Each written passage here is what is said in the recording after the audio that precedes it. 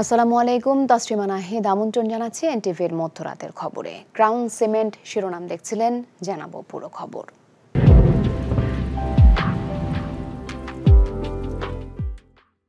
বৈশ্বিক পরিস্থিতির কারণে বাংলাদেশে মূল্যস্ফীতি বেড়েছে, উল্লেখ করে তা মোকাবেলায় দেশীয় উৎপাদন বাড়ানোর জন্য সবার প্রতি আহ্বান জানিয়েছেন প্রধানমন্ত্রী শেখ হাসিনা। রোববার এগারোতম জাতীয় ক্ষুদ্র ও মাঝারি শিল্প মেলার উদ্বোধনী অনুষ্ঠানে এই আহ্বান জানান তিনি। একই সাথে বর্জ্য ব্যবস্থাপনার বিষয়ে অবহেলা না করে পরিবেশ রক্ষার দিকেও গুরুত্ব দেবার আহ্বান জানান শেখ হাসিনা। নজরানা চৌধুরীর রিপোর্ট।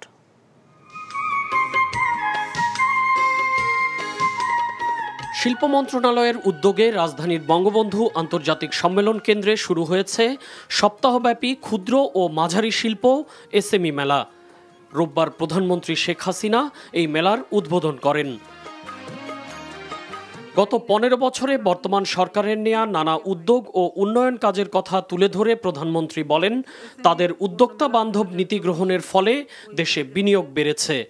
অবকাঠামোগত উন্নয়ন, যোগাযোগ ব্যবস্থা ডিজিটাল সিস্টেম, কর্মসংস্থান, প্রতিটি ক্ষেত্রেই কিন্তু ব্যাপক অগ্রগতি সাধিত হয়েছে।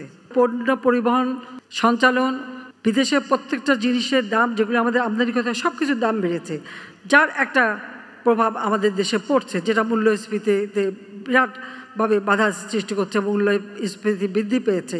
যদি এটাকে আমরা আরও নিয়ন্ত্রণ করবার আপ্রাণ চেষ্টা করছি সেটা একমাত্র করতে পারব যাতে আমরা নিজস্ব উৎপাদন বাড়াতে পারব। পঁচাত্তরের পর থেকে যারাই বাংলাদেশের রাষ্ট্রীয় ক্ষমতায় ছিল, তারা কেউই জনগণের কল্যাণের কথা চিন্তা করেনি বলে অভিযোগ করেন শেখ হাসিনা। সেই পিছিয়ে যাওয়া অবস্থা থেকে বাংলাদেশকে তার সরকারি মধ্যম আয়ের দেশে উন্নীত করেছে বলেও উল্লেখ করেন তিনি। দেশের এই উন্নয়নের ধারা অব্যাহত রাখতে সবাইকে আরও সচেষ্ট হতে হবে বলেও জানান সরকার প্রধান। শ্রম ঘন শিল্প যেন আমাদের দেশে গড়ে ওঠে। কারণ আমার দেশের মানুষকে কাজ দিতে হবে এই জন্য আমার শ্রম ঘন শিল্প গড়ে তোলার দিকে বেশি মনোযোগী হতে হবে।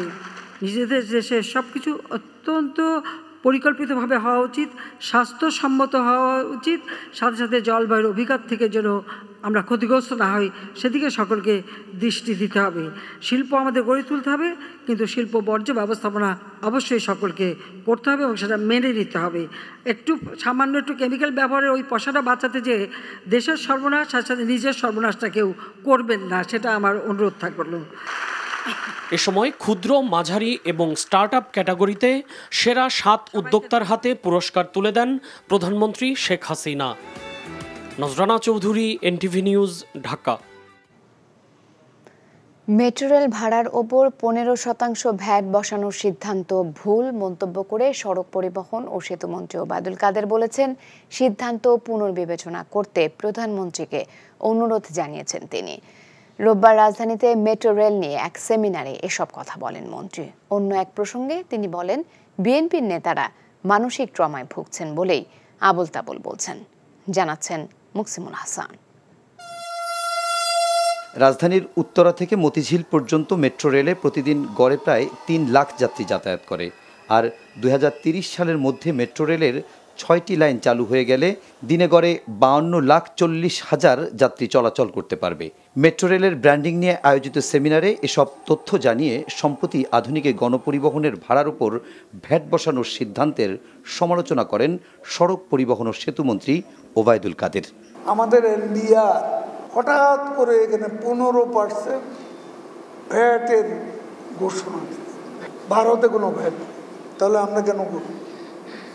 আমি মাননীয় প্রধানমন্ত্রীকে বিষয়টি জানি যে এনবিআর এর এই সিদ্ধান্ত this is not right this is wrong decision এটা হয় না, এতে মেট্রো রেলের সুনামটা প্রধানমন্ত্রী বলেছেন, তিনি বিষয়টি পুনর্বিবেচনার ব্যাপারে আশ্বাস দিয়েছেন। একই সঙ্গে রাজধানীতে ফিটনেসবিহীন জরাজীর্ণ বাস চলাচল বন্ধ করতে ঢাকার দুই মেয়রের প্রতি আহ্বান জানান সড়ক পরিবহন মন্ত্রী। সেমিনারে জানানো হয়, উত্তরার দিয়াবাড়ি থেকে টঙ্গী পর্যন্ত বাড়ানো হচ্ছে এমআরটি লাইন সিক্সের পথ। এ অংশে নতুন করে যুক্ত হবে আরও পাঁচটি স্টেশন। আর মতিঝিল থেকে কমলাপুর রেল স্টেশন পর্যন্ত সম্প্রসারণের কাজ চলছে। পরে সাংবাদিকদের প্রশ্নের উত্তরে বিএনপি নেতাদের সাম্প্রতিক বক্তব্যের সমালোচনা করেন আওয়ামী লীগ সাধারণ সম্পাদক। আসলে বিএনপি এর নেতারা মানসিক ট্রোমায় ভুগছে। যা খুশি তাই বলেন ফিয়েস্টা এসবের বাস্তবতা নেই। তারা বাস্তবতা থেকে অনেক দূরে অবস্থান। অন্য এক প্রশ্নের জবাবে আওয়ামী লীগ সাধারণ সম্পাদক বলেন, বিএনপি আন্দোলনের নামে সহিংসতা করলে প্রয়োজনীয় ব্যবস্থা নেবে আইন শৃঙ্খলা বাহিনী আর রাজনৈতিকভাবে তা মোকাবেলা করবে Awami League. Muksimul Ahsan NTV news, Dhaka. Battery চালিত অটোরিকশা বন্ধের প্রতিবাদে রাজধানীর মিরপুর দশ নম্বর গোল চত্বর ও কাজীপাড়া এলাকায় বেশ কিছু গাড়ি ভাঙচুর করেছে বিক্ষুব্ধ চালকরা। এতে আহত হন অনেক নিরীহ যাত্রী। পরে লাঠিচার্জ করে পরিস্থিতি নিয়ন্ত্রণে নেবার দাবি করেছে পুলিশ। তবে কালচি এলাকায় রোববার বিকেলেও বিক্ষোভকারীদের সঙ্গে সংঘর্ষ হয় পুলিশের। একজনের গুলিবিদ্ধ হবার খবরও পাওয়া গেছে। মইদুল ইসলাম জানাচ্ছেন বিস্তারিত। সকাল সাড়ে দশটার দিকে মিরপুর দশ নম্বর সড়কে সব ধরনের গাড়ি চলাচল বন্ধ করে অবরোধ শুরু করেন ব্যাটারি চালিত অটোরিকশা চালকরা। বিক্ষোভ করতে থাকেন প্রতি মুহূর্তে।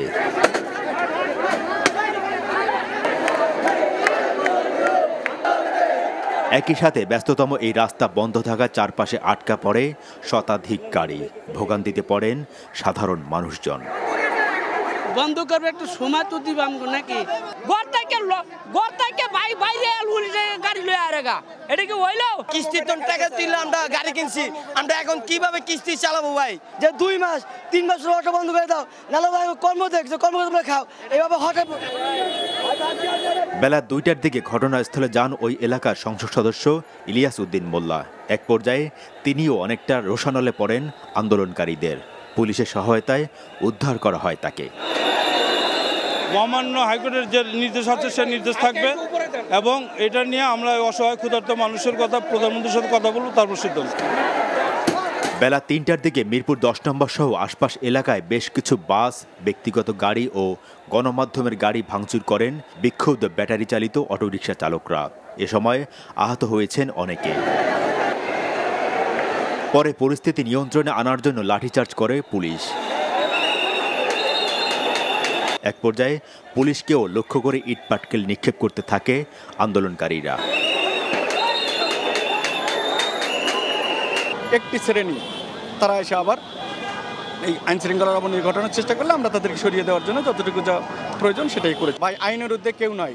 কোনো ক্ষতি কোনো ক্ষতি হলে, কিছু হলে, যদি কোনো কিছু পাওয়া যায়, সেগুলোর বিরুদ্ধে আইনগত ব্যবস্থা নেওয়া হবে। এদিকে বিকেলে বীরপুরের কালশি এলাকায় ব্যাটারি চালিত অটোরিকশা চালকরা পুনরায় একত্রিত হয়ে আগুন দেয় পুলিশ বক্সে। পাশাপাশি বেশ কিছু গাড়িও ভাঙচুর করে তারা। Moidul Islam, NTV news, Dhaka. বিএনপির আন্তর্জাতিক সম্পর্ক বিষয়ক কমিটির সদস্য ইশরাক হোসেনের নিঃশর্ত মুক্তির দাবি জানিয়েছেন দলটির মহাসচিব মির্জা ফখরুল ইসলাম আলমগীর। রোববার বিএনপির পক্ষ থেকে পাঠানো এক বিবৃতিতে এসব কথা বলেন তিনি।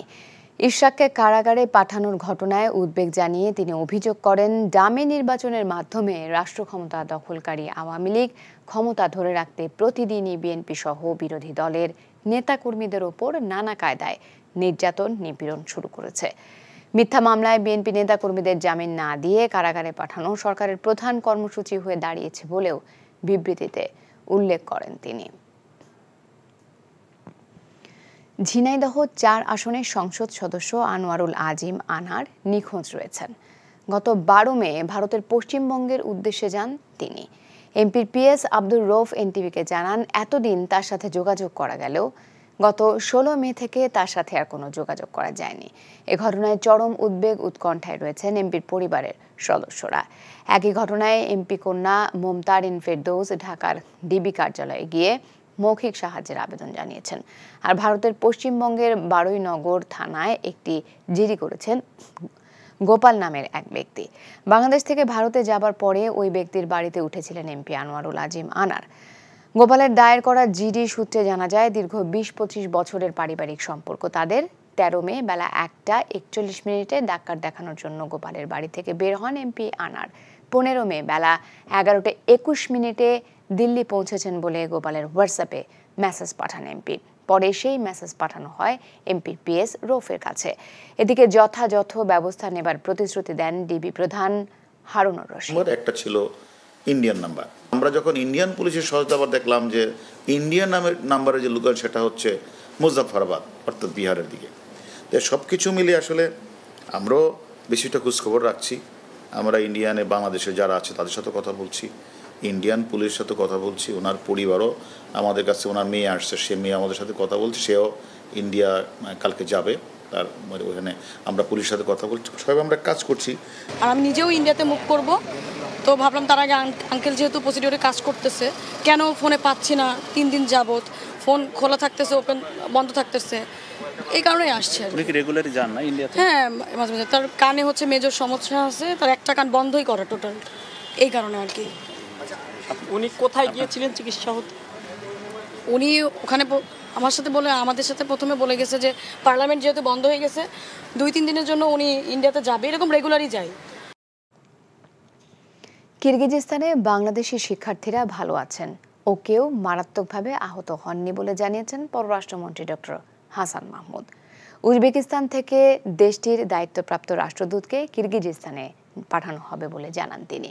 রোববার সকালে জাতীয় প্রেস ক্লাবে ওভারসিজ করেসপন্ডেন্ট অ্যাসোসিয়েশন বাংলাদেশ ও ক্যাব আয়োজিত সেমিনারে কথা বলেন। হাসান মাহমুদ বলেন, মিয়ানমারের সংঘাতময় পরিস্থিতিতে রোহিঙ্গা প্রত্যাবাসন কঠিন হয়ে পড়েছে, তবে আন্তর্জাতিক চাপ অব্যাহত থাকলে এবং আন্তর্জাতিক আদালতের রায় পক্ষে আসলে প্রত্যাবাসন প্রক্রিয়া শুরু হবে।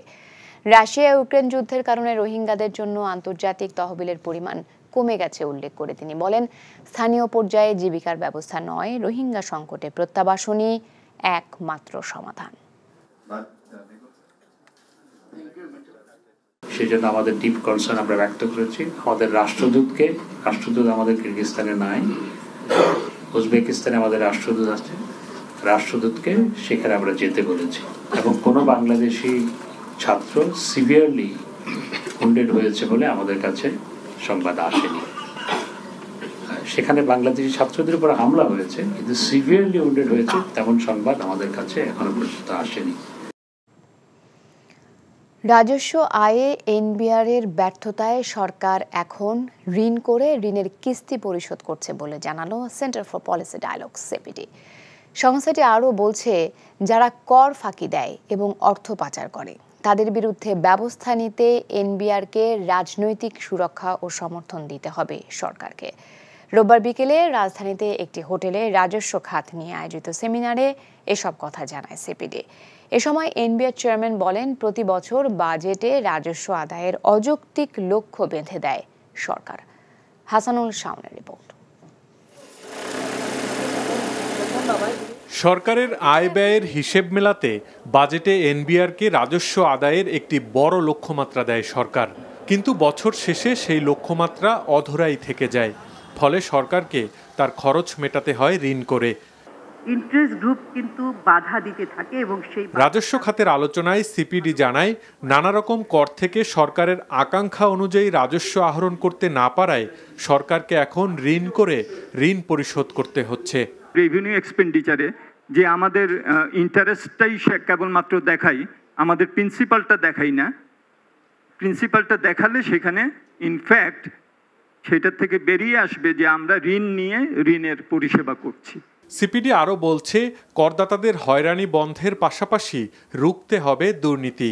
এজন্য আধুনিকায়নকে এগিয়ে নেয়ার পাশাপাশি রাজনৈতিক সিদ্ধান্তের মাধ্যমে বন্ধ করতে হবে কর ফাঁকি এবং অর্থ পাচার। রাজনৈতিক বিষয়ের যদি প্রতিশ্রুতিগুলো দৃশ্যমান না হয় তাহলে অসহায় এনবিআর ট্যাক্স কালেকশন আহরণের করতে গিয়ে তারা বিরাট ঝুঁকির মধ্যে পড়ে। তাদের সেই রাজনৈতিক সুরক্ষা দিতে হবে। তবে অর্থ প্রতিমন্ত্রী বলেন রাজস্ব আয় বাড়াতে যথেষ্ট গুরুত্ব দিচ্ছে সরকার। পলিটিক্যাল উইল কিন্তু আছে। না থাকলে জাতীয় রাজস্ব বোর্ডের চেয়ারম্যানের সাথে আমি এখানে এতক্ষণ ধরে আপনাদের অনুষ্ঠানে বসে থাকতাম না। কর ব্যবস্থায় অটোমেশনের পাশাপাশি করের আওতা বাড়ানোর চেষ্টা করা হচ্ছে জানিয়ে এনবিআর চেয়ারম্যান কর আদায়ের লক্ষ্যমাত্রা নিয়ে হতাশা জানান। বাজেট টার্গেট যখন দেওয়া হয় তখন এনবিআর এর আসলে অসহায়ত্বটা প্রকাশ পায়। সক্ষমতা কতটুকু আছে সেটা হিসাব না করে ফিনান্স থেকে একটা টার্গেট দেওয়া হয়। এবং এই টার্গেটটা অ্যাচিভ করতে হবে কারণ তোমার এই টার্গেটের সাথে মিলেই আমি অন্যান্য এক্সপেন্ডিচারগুলো সেট করেছি। কোথায় যাবে? ইনোভেটিভ কোনো চিন্তা রিফর্মের কোনো চিন্তা কোনো কিছু করার সুযোগ থাকে না। এছাড়া বিভিন্ন উন্নয়ন কর্মকাণ্ডে জনগণের করের টাকা ব্যয়ের ক্ষেত্রেও স্বচ্ছতা নিশ্চিতের তাগিদ দেন আলোচনার বক্তারা। Hasanul Shawon NTV news Dhaka. ষষ্ঠ উপজেলা পরিষদ নির্বাচনে দ্বিতীয় ধাপে ভোটের বাকি আর একদিন। এরই মধ্যে শেষ হয়ে গেছে প্রার্থীদের প্রচার। এ ধাপে দেশের তেষট্টি জেলার একশো সাতান্ন উপজেলায় ভোটের লড়াইয়ে এক হাজার আটশো আঠাশ প্রার্থী থাকলেও বিনা প্রতিদ্বন্দ্বিতায় নির্বাচিত হয়েছেন একুশ জন। চলমান চার ধাপের উপজেলা নির্বাচনের দ্বিতীয় ধাপের একশো ষাটটি উপজেলায় সত্তর দশমিক পাঁচ এক শতাংশ চেয়ারম্যান প্রার্থী এবং আটষট্টি দশমিক সাত তিন শতাংশ ভাইস চেয়ারম্যান প্রার্থী, ব্যবসায়ী বলে জানিয়েছেন ট্রান্সপারেন্সি ইন্টারন্যাশনাল বাংলাদেশ টিআইবি রোববার রাজধানীতে সংস্থাটির কার্যালয়ে এক সংবাদ সম্মেলনে প্রার্থীদের হলফনামা বিশ্লেষণ করে এসব তথ্য তুলে ধরা হয়। এছাড়া প্রার্থীদের অধিকাংশই আওয়ামী লীগের স্বতন্ত্র প্রার্থী এবং ছয় দশমিক চার শতাংশ, চার পাঁচ শতাংশ প্রার্থী কোটিপতি। তবে প্রায় পঁচিশ শতাংশ প্রার্থীর ঋণ রয়েছে। সবচেয়ে বেশি, তিনশো দশ কোটি চুরানব্বই লাখ টাকা ঋণ আছে এক চেয়ারম্যান প্রার্থীর। প্রার্থীদের তেরো দশমিক এক তিন শতাংশ বর্তমানে বিভিন্ন মামলায় অভিযুক্ত। প্রার্থীদের হলফনামায় দেয়া তথ্য নিয়ে প্রশ্ন রয়েছে উল্লেখ করে সংস্থাটির নির্বাহী পরিচালক ডক্টর ইফতেখারুজ্জামান বলেন, বেশিরভাগেরই স্থাবর অস্থাবর সম্পদের অস্বাভাবিক বৃদ্ধি ও রাজনীতির সঙ্গে সম্পদ বৃদ্ধির একটি যোগসূত্র দেখা গেছে।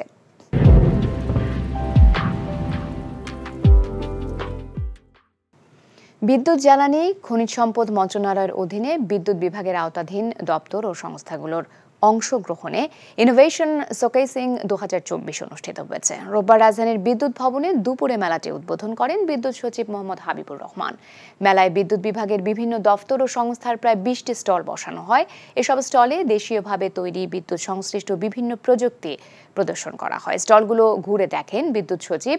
বলেন, নিজস্ব প্রযুক্তির উদ্ভাবন ছাড়া বর্তমান প্রতিযোগিতাপূর্ণ বিশ্বে বাংলাদেশ টিকতে পারবে না।